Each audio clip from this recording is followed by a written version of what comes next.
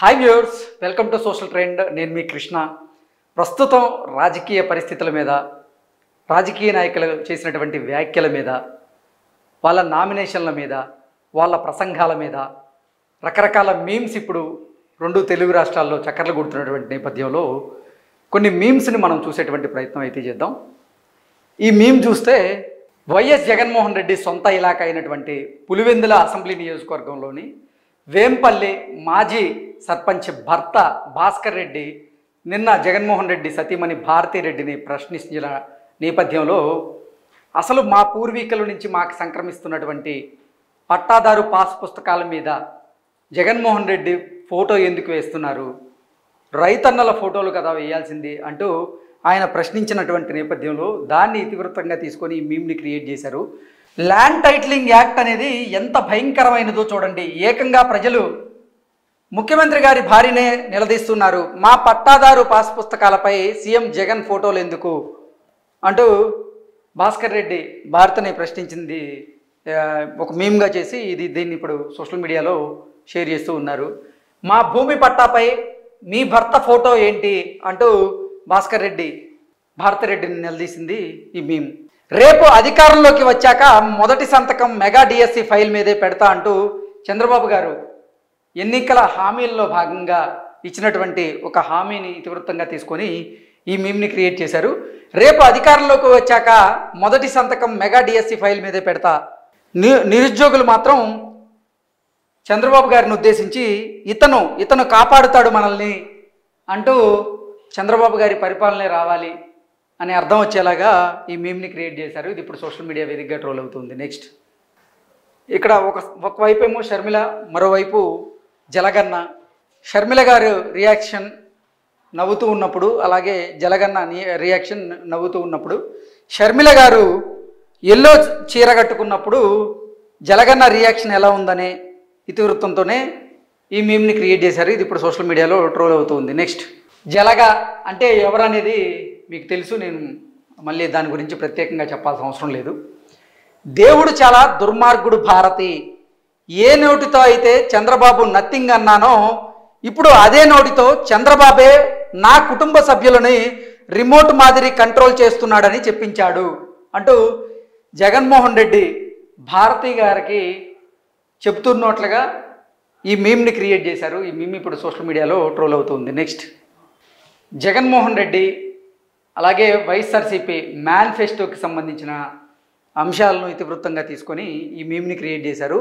ఈసారి గెలిపిస్తే lorry tipper డ్రైవర్లకు కూడా వాహనమిత్ర ఇస్తామంటూ మొన్న జగన్మోహన్ రెడ్డి మేనిఫెస్టోలో ఒక హామీని పొందుపరిచినటువంటి నేపథ్యంలో దాన్ని ఉద్దేశించి అదే చేత్తో మా క్లీనర్లకు కూడా ఏదో ఒక పథకం పెడితే బాగుండు అంటూ కొడాల నానిని ఇక్కడ క్లీనర్గా చూపించినట్లు అదే చేత్తో మా క్లీనర్లకు కూడా ఏదో ఒక పథకం పెడితే బాగుండు అంటూ కేవలం లారీ డ్రైవర్లు టిప్పర్ డ్రైవర్లే కాదు మా క్లీనర్లకు కూడా ఏదో ఒక పథకం పెట్టండి అనే ఉద్దేశం వచ్చేలాగా ఈ మీమ్ని అయితే క్రియేట్ చేశారు. ఇక్కడ ఈ మీమ్ వచ్చేసి చంద్రబాబు గారిని జగన్మోహన్ రెడ్డి గారిని ఉద్దేశించి ఈ మీమ్ని క్రియేట్ చేశారు. చంద్రబాబు గారి ఉద్దేశంలో నేను రైతు బజార్లను తీసుకొస్తా అంటూ చంద్రబాబు గారు చెప్తూ ఉంటే నేను వాటిని కూడా తాకట్టు పట్టేస్తా అంటూ జగన్మోహన్ రెడ్డి సమాధానం ఇస్తున్నట్లుగా ఈ మేమ్ని క్రియేట్ చేశారు. Next Jalaganna land titling act అనేది భారతీయ జనతా పార్టీ ప్రభుత్వ నిర్ణయం అయితే మీరు నన్ను అంటారేంటి అంటూ జలగన్న ఆంధ్రప్రదేశ్ ప్ర ప్రజలను ఉద్దేశించి మాట్లాడుతున్నట్లుగా ఆంధ్రప్రదేశ్ ప్రజలు మాత్రం ఏ బీజేపీ పాలిత రాష్ట్రంలో అమలు కాని చట్టం నువ్వు ఎందుకు అమలు చేశావు? అంటే Jaganmohan Reddy land titling act అమలు చేసినటువంటి నేపథ్యంలో అసలు ల్యాండ్ టైట్లింగ్ యాక్ట్ అనేది నేను తీసుకొచ్చినటువంటి యాక్ట్ కాదు అది భారతీయ జనతా పార్టీ ప్రవేశపెట్టినటువంటి యాక్ట్ అంటూ జలగన్న చెప్పడం. అయితే ఏపీ ప్రజల రియాక్షన్ మాత్రం మరి ఏ బీజేపీ పాలిత రాష్ట్రంలో అమలు కానటువంటి చట్టం నువ్వు ఎందుకు అమలు చేశావంటూ ఆంధ్రప్రదేశ్ ప్రజలు జగన్మోహన్ రెడ్డి గారిని ఉద్దేశించి ప్రశ్నిస్తున్నట్లుగా ఈ మేమ్ని క్రియేట్ చేశారు. ఇది ఇప్పుడు సోషల్ మీడియాలో ట్రోల్ అవుతుంది. వైసీపీ బ్యాచ్ మేము ఉచిత పథకాలు ఇస్తే ఆంధ్రప్రదేశ్ శ్రీలంక అయిపోతుంది అన్నారు మరి మీరు ఎలా ఇస్తా అంటున్నారు? అంటూ వైసీపీ బ్యాచ్ కూటమిని ఉద్దేశించి మాట్లాడుతున్నట్లుగా అప్పులు తెచ్చి పంచిపెట్టడానికి కష్టపడి సంపాదించి పంచిపెట్టడానికి చాలా తేడా ఉందరా బుర్ర తక్కువ ఎదవా అంటూ ఇక్కడ కూటమి నాయకులు వైసీపీ బ్యాచ్కి సమాధానం ఇస్తున్నట్లుగా ఈ మీమ్ని అయితే క్రియేట్ చేశారు. రియాజ్ జబర్దస్త్ రియాజ్ ఆయన వైసీపీలో చేరి వైసీపీ తరపున ప్రచారం చేస్తున్నటువంటి నేపథ్యంలో ఆయన్ని ఉద్దేశించి ఈ మీమ్ని క్రియేట్ చేశారు. రే పొట్టోడా! అంటూ రియాజ్ని పొట్టోడా అనే కించపరిచేలాగా ఈ మీమ్ని అయితే క్రియేట్ చేశారు. నెక్స్ట్. గురజాల వైసీపీలోకి భారీ చేరికలు.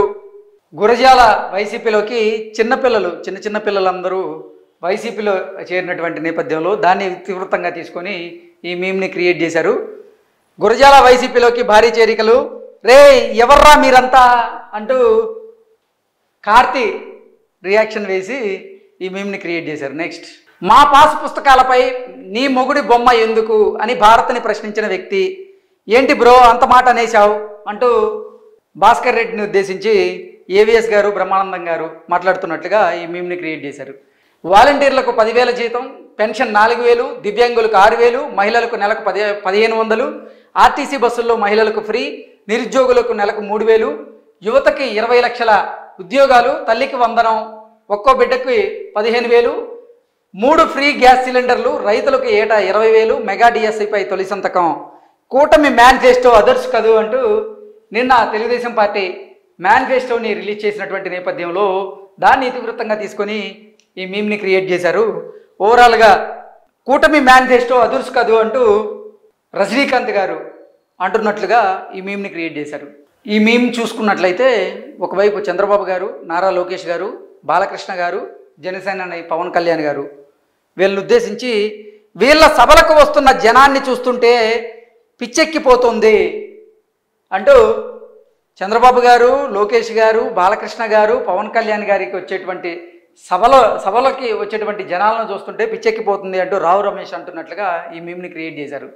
ఈ మీము ఈడియట్ సినిమాలో ఉన్నటువంటి ఒక సీన్ని తీసుకొని ఈ మీమ్ని క్రియేట్ చేశారు. ఒరే పాస్బుక్ మీద నీ బొమ్మ వేసుకున్నావు తర్వాత ఒరిజినల్ పత్రాలు తీసుకొని జిరాక్స్ చేతికి ఇచ్చావు అసలు నీ ప్లాన్ ఏంట్రా అంటూ పోలీసు అలీని అడిగినట్లుగా అలీ ఆస్తులు కొట్టేస్తున్నాను అంటూ సమాధానం ఇచ్చినట్లుగా ఈ మీమ్ని క్రియేట్ చేశారు. ఇది ఇప్పుడు సోషల్ మీడియాలో ట్రోల్ అవుతుంది. నెక్స్ట్.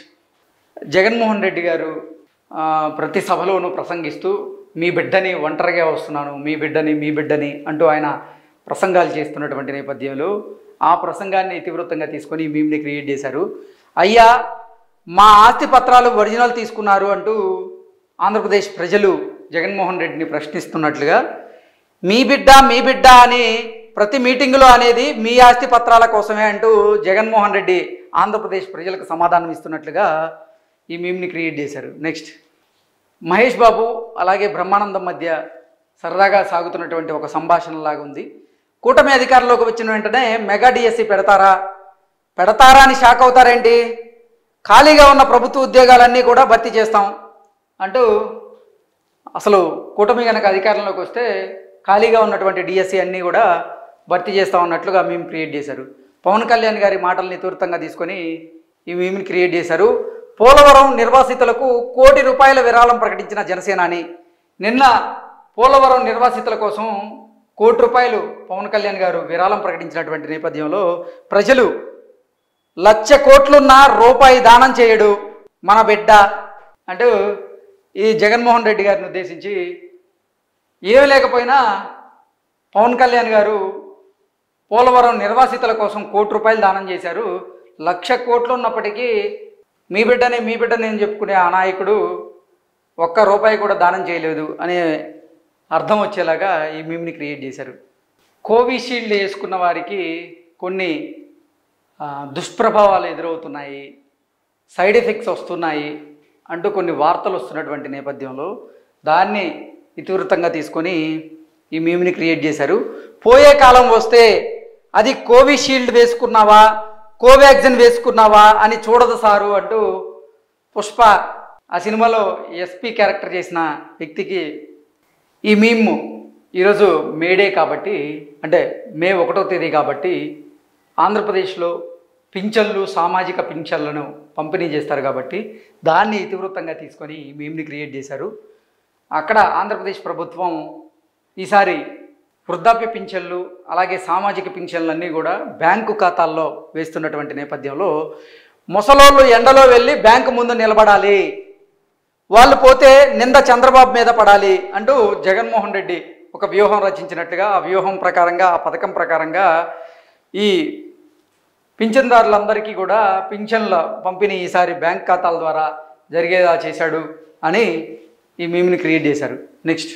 జనసేన పోటీలో లేని చోట కొంతమందిని గాజు గ్లాసు గుర్తుపై పోటీ చేయిస్తున్న వైసీపీ జన సైనికుల ఓట్లు కూటమికి పడకుండా చీప్ ట్రిక్స్. జనసేన పోటీలో లేని చోట కొంతమందిని గాజు గ్లాసు గుర్తుపై పోటీ చేయిస్తున్న వైసీపీ. అంటే కేంద్ర ఎన్నికల సంఘం నిన్న వైసీపీకి కూటమికి భారీ ఝలక్ ఇచ్చినటువంటి నేపథ్యంలో వ- అంటే జనసేన పోటీ చేస్తున్నటువంటి ఇరవై ఒక్క స్థానాల్లో జనసేన అభ్యర్థులకి గాజు గ్లాసు గుర్తును పో- కేటాయిస్తూ మిగతా చోట్ల అంటే స్వతంత్ర అభ్యర్థులుగా పోటీ చేస్తున్న కొంతమందికి కూడా గాజు గ్లాసు గుర్తును కేటాయించేలాగా కేంద్ర ఎన్నికల సంఘం ఒక నిర్ణయం తీసుకున్నటువంటి నేపథ్యంలో దాన్ని ఇతివృత్తంగా తీసుకొని అది జగన్మోహన్ రెడ్డి కుట్ర అనే ఉద్దేశంతో ఈ మీమ్ని క్రియేట్ చేశారు. జన సైనికుల ఓట్లు కూటమికి పడకుండా చీప్ ట్రిక్స్ అంటూ ఇద్దరు అమ్మాయిలు జగన్మోహన్ రెడ్డిని ఉద్దేశించి వీడి సింగిల్ సింహం ఏంటే? పిరికి సన్నాసి అంటూ వాళ్ళు మాట్లాడుకుంటున్నట్లుగా జగన్మోహన్ రెడ్డిని ఉద్దేశించి ఈ మీమ్ని క్రియేట్ చేశారు. నెక్స్ట్ ఇది తెలంగాణకు సంబంధించినటువంటి ప్రస్తుత రాజకీయ పరిణామాల మీద ఈ మీమ్ని క్రియేట్ చేశారు. తెలంగాణ అడిగింది బయ్యారం ఉక్కు ఫ్యాక్టరీ.